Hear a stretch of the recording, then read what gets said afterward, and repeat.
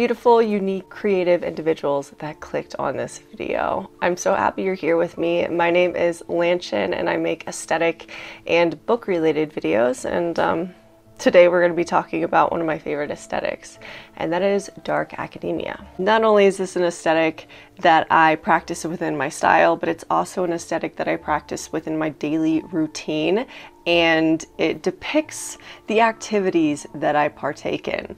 So I wanted to share a list of about 55 different activities that you can do to feel as if you were living in the dark academia world to feel as if you were living as your main character in a DA book. Some of these things are very simple. Some of these things you can do at home. It can take little to no effort to complete them, and some of these involve actually leaving your house and getting out and doing a bit of exploring. Whether you are someone that likes to stay at home more or go out and do things, this list is going to be for everyone. Well, I'm not going to talk anymore. Let's just get right into the activities. Don't mind me, I'm just reading off my long list that I made. The first activity is going to be write with a quill and ink. This is such a nostalgic thing to do, even if you've never done it before. And if you write in cursive, that's a plus. The next thing is to drink tea out of a porcelain teacup or a vintage teacup. It doesn't really matter. And you don't even need the fancy teacup. You can just drink tea more often. The next thing is to drink coffee. Maybe you're not a tea drinker. I think that both of these things work perfectly in the dark academia world though.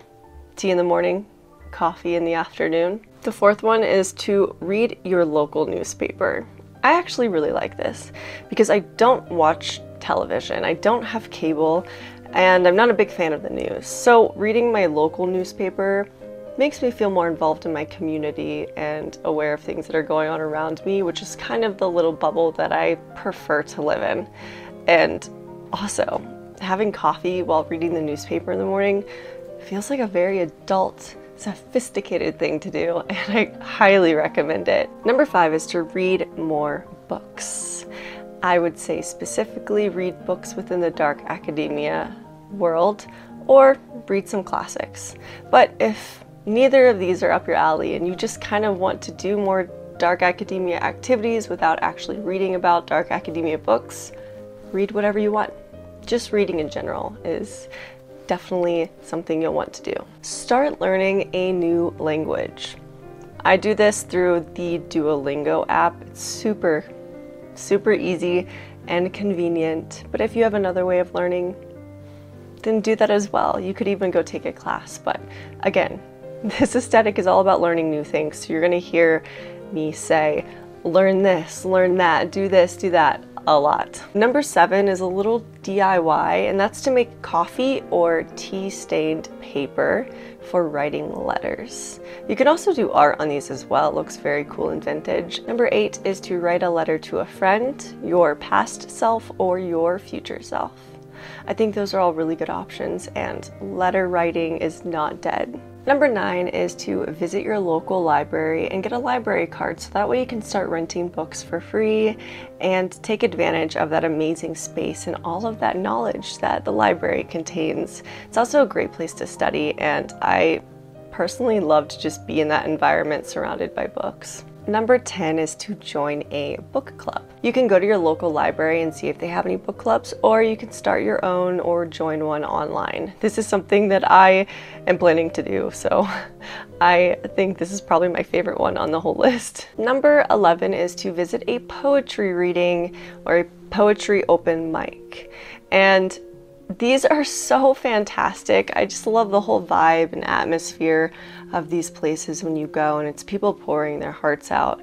It could either be something that they are just reading off from a book or it could be something they wrote themselves. It's a very great place to meet people as well and I also love I love the snaps. I love the snaps. Number 12 is to go to an open mic poetry reading and actually read something that you like or enjoy. This might not be for everyone, but I just wanted to throw it out there that you can definitely do this too. Number 13 is to go to a jazz club. Not all jazz clubs require you to be 21, so you'll have to look up ones within your area.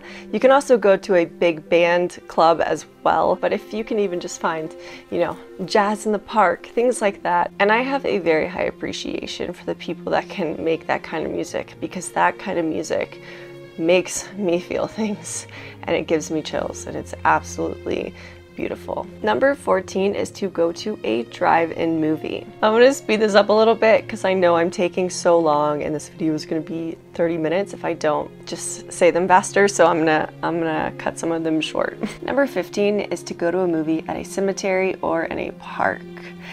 In LA, they had movies at cemeteries in lots of different places, so I'm not sure if it's in every state. But the movies in the park I see a lot more often. Look that up and see if you have one in your area. And seeing an older movie is preferred. Number 16 is to have a picnic in a park and read a book.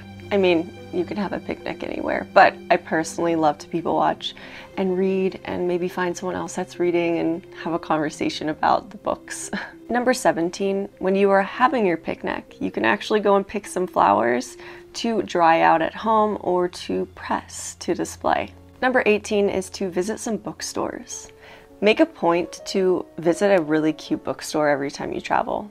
And pick up a book if you feel like it, or even just browse and find something new that you want to read. Number 19 is to see a classic play at a theater. This is something I really want to do more often because seeing people perform is a whole other experience and a whole other world of creativity, and it's a really great way to just feel inspired. Number 20 is to start sketching anatomy, people, or history, or anything related to Greece. honestly just start sketching in general and teach yourself how to do it. And it doesn't have to be super good, just do it for fun and because it's something that you enjoy. 21 is to participate in a nude model painting class. I think you can still do this in some places. I don't think you have to be in school. I actually looked this up before making this video and I did find one. So you'll have to do a little research, but this would be such a great experience. Number 22 is to visit your local art museum. Number 23 is when you go to an art museum, bring a little sketch pad and start sketching out some of your favorite art pieces. Number 24, go to a gallery opening. Number 25 is to visit your history museum. Number 26, go to the opera. Number 27 is to learn piano but specifically learn a classic song. Number 28 is very specific because it's something I'm actually doing, and that's to read every book written by your favorite philosopher. 29, learn to play chess. Number 30 is to visit a chess game within a park and actually try competing for fun. 31, write a book for fun. 32, start studying something new in history. 33 is to make it a point within your day to go to a cafe and study, read, or just grab a coffee and people watch. 34 is to visit your local antique shop or any antique shop in general and find something special. Another thing you can do when you are visiting an antique shop is to talk to the owner about the things they are collecting, where they got them from, and the history behind them. I've definitely been in some amazing stores where the person had literally known the history behind every single piece that they had collected and where it came from and the year it was made and it was very very fascinating. Number 35 is to go take a walk in a park or through the forest and just think and look around and be present and notice things. And if that's a little too boring for you, you can go to a park with more people and people watch or maybe spark up a conversation with someone that looks interesting. Number 36 is to drink wine or sparkling cider out of a wine glass, of course, because it's very fancy and elegant. Number 37 is to start writing poetry for fun and start doing it daily. Number 38 is to host a dinner party and invite some friends over. 39 is to start studying some poetry. And like I said before, when you study it, you can start writing it and understanding it more, and it's a lot more enjoyable that way. Number 40 is to learn about philosophy. There's so many different philosophers that you can learn from, and the things they have to say are truly life changing.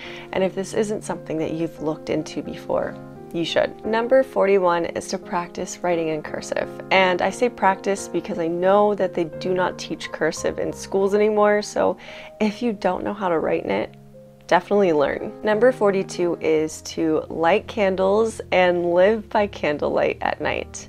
This is such a moody way to cook dinner or to even eat dinner or hang out with friends. I personally love this and it's it makes me feel as if I'm living in a different time, and I really love that. 43 is to play classical music. I really love Chopin, Bach, Mozart, but any music that lifts your spirits will do. Number 44 is next time it's raining outside, pick up a book, read, or go outside and walk in the rain and contemplate life. 45 is to tour some historical buildings within your area and actually learn about them. 46 this goes with it is to pull out that sketchbook that you now keep with you and sketch the historical buildings. Number 47 is to memorize quotes by your favorite philosophers. Number 48 is to learn about Greek mythology. Number 49 is to annotate your favorite book. If you haven't started doing this already, you will fall in love once you begin. It's a great way to memorize things within your favorite reads and to go back and appreciate them once again. Number 50 is to start taking Polaroids. 51 is to invest in a film camera.